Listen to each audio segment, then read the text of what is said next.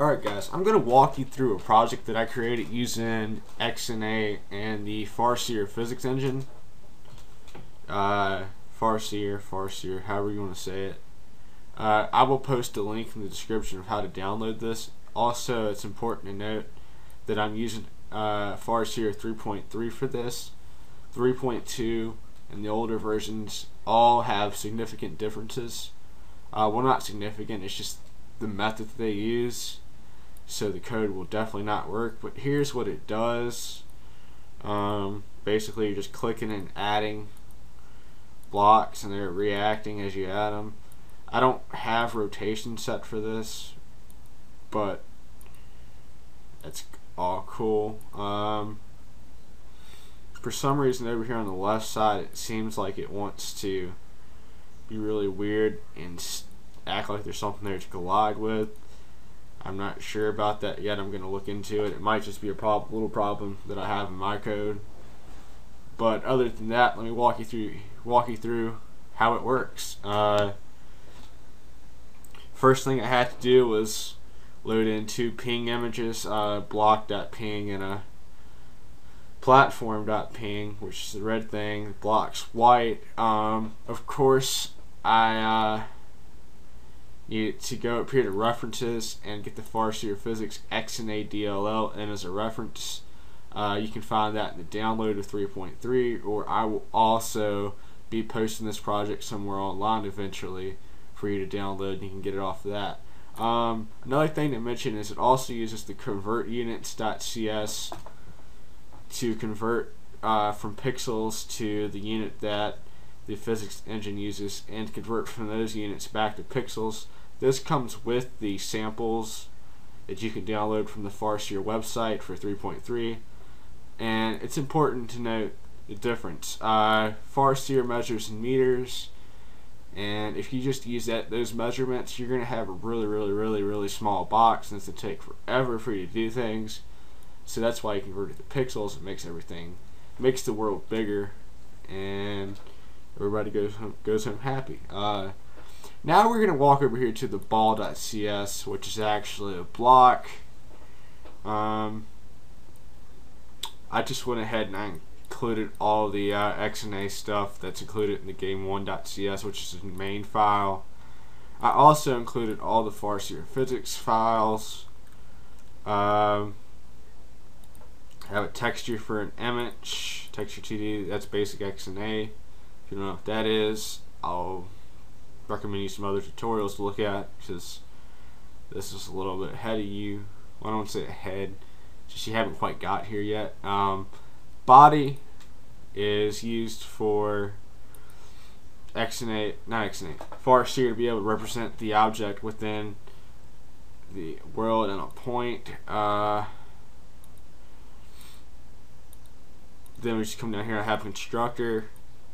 I set the image equal to the texture that you can pass in for the constructor as we load it in in the main function.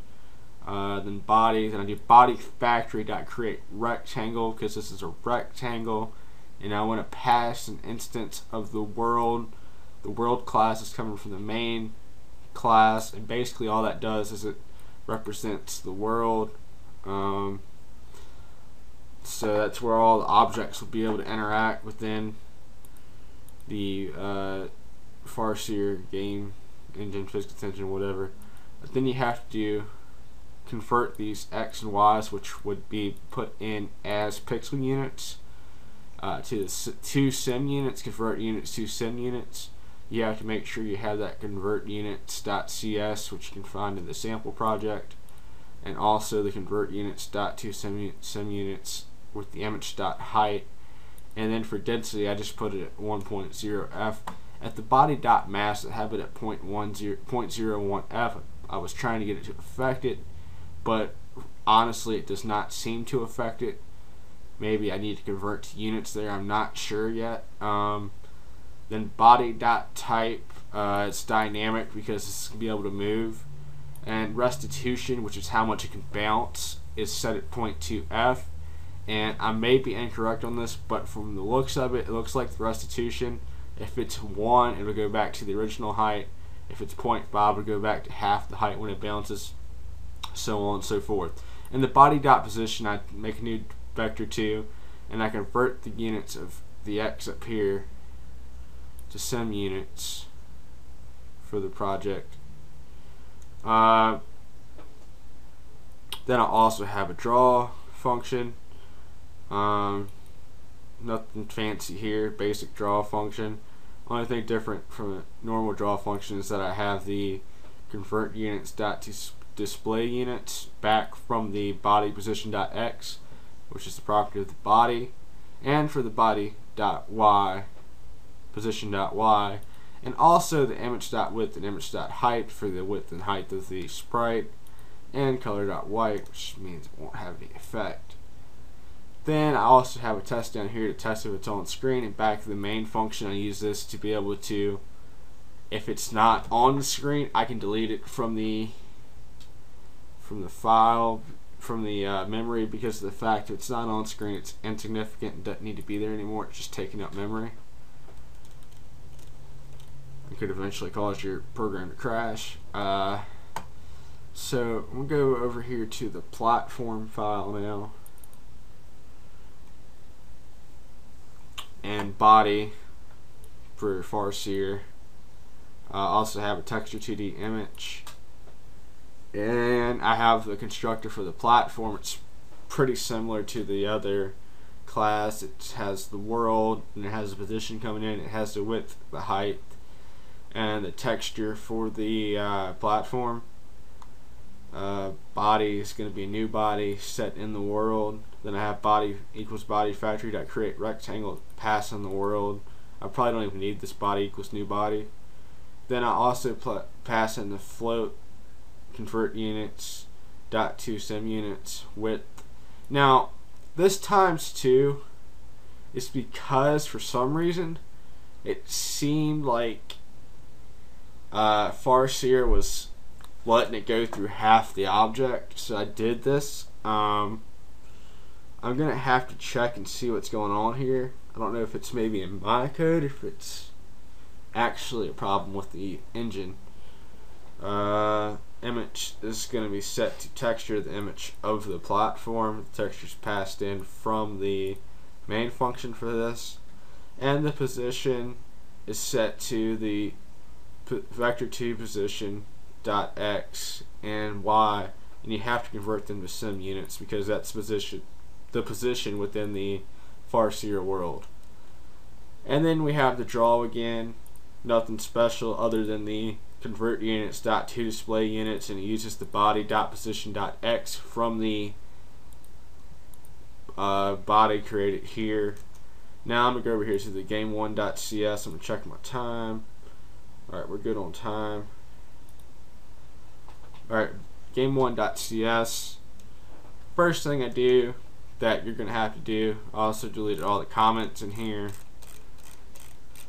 that XNA has because I don't like them. But I have to use do using Farseer physics, dynamics, factors, collision, etc. Uh, list of the balls. Then I have to make the wor actual world. So this is where the world comes from. Then I have a texture 2D for the ball or block I started out with the ball, but I wanted to block to see how uh, more efficient it was to have a block in the world than a ball. And uh, I also have a Texture 2D barge, which is the platform. I don't know, I just made a random name for it. And then the actual platform is right here. And then, this is important, I have the width at 550, then I have the height at 450 here. Uh, that's only significant in the ball.cs where I check to see if it's on screen because that's the dimensions that are used there. And then the world is set to a new world and this vector 2 right here is the gravity on the x and the gravity on the y. So as you see I have a gravity of 0 on the x and a gravity of 15.0 uh, which is a float on the y. So that means stuff will fall and the balls I set that to a new list balls so you don't have any this has not been initialized or whatever the error is. And this is not significant, to, but to be able to see the mouse, I did this dot is mouse visible equals true. Now we come down here to the load content function. We set the ball texture 2D equal to block, which is over here, and the content you have to make sure that's there. Uh, the barge is set equal to the platform texture 2D after it's loaded in from over here. And the platform, okay, what happened there? The platform set equal to the, a new platform with that you're passing in the world with a new vector 2, which is the position, you pass in the width, the height, and the texture. Probably could have just got away without passing the width and the height, but this is a quick little throw together thing to get used to the engine. Uh, mouse state is set equal to mouse.get state.